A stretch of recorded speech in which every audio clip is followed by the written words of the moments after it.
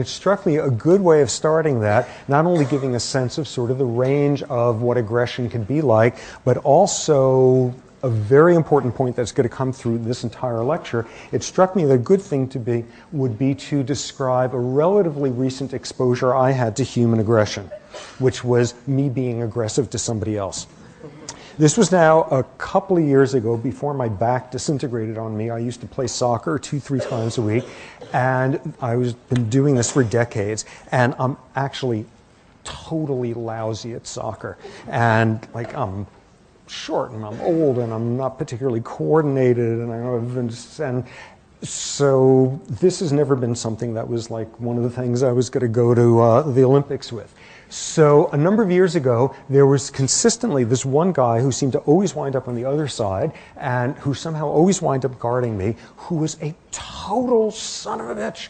This guy, he was he was a lot younger than me, and he was a lot more athletic, and he was a lot taller than me, and he was a lot more skillful at this game. And on top of everything else, he was a really dirty player.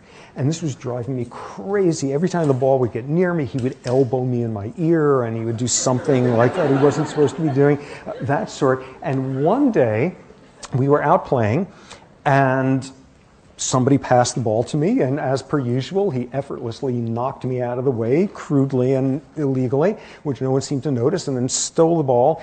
And I was pissed. And this guy quickly passed it to someone else, and the two of us were sort of running towards a corner of the field, and momentum was carrying us.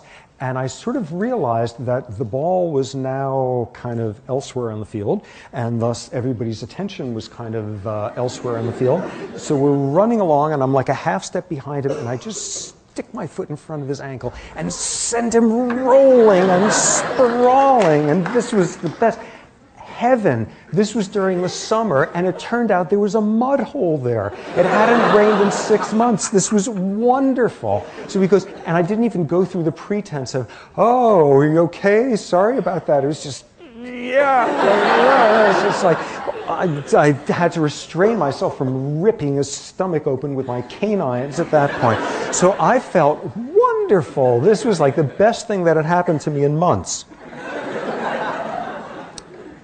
Nelson Mandela.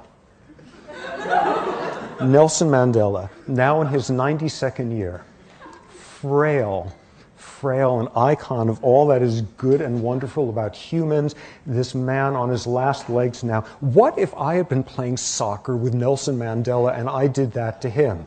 You'd be horrified. Nobody would be on the edge of applauding that sort of thing. This would be unspeakable if I had done that to delightful Nelson Mandela at age 92. So, what we see here is a very important thing that is going to run through all of this topic, which is very little about the social, the environmental, the learning aspects of aggression have to do with learning how to be aggressive it's all about when. It's all about the appropriate social context for it because that speaks to something that is absolutely clear for 99.9% of us.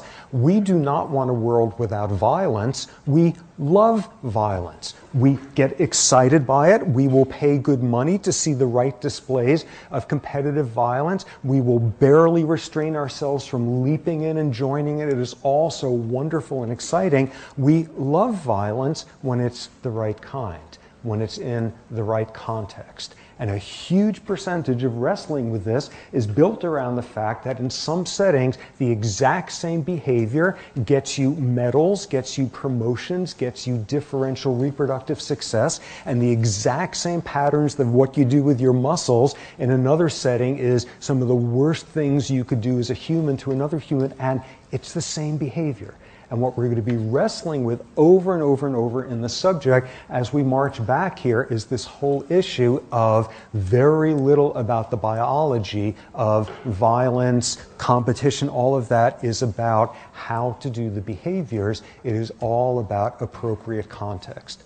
And what we will see is all sorts of realms of neurological diseases where things go majorly wrong in terms of control against violence. Very rarely will it be that it's the magnitude of violence which is wrong. What you see is it's in the wrong context Because if it's done right, we love it and we elect people who have been good at it and we differentially mate with them and we pay to see it. It's got to be in the right setting.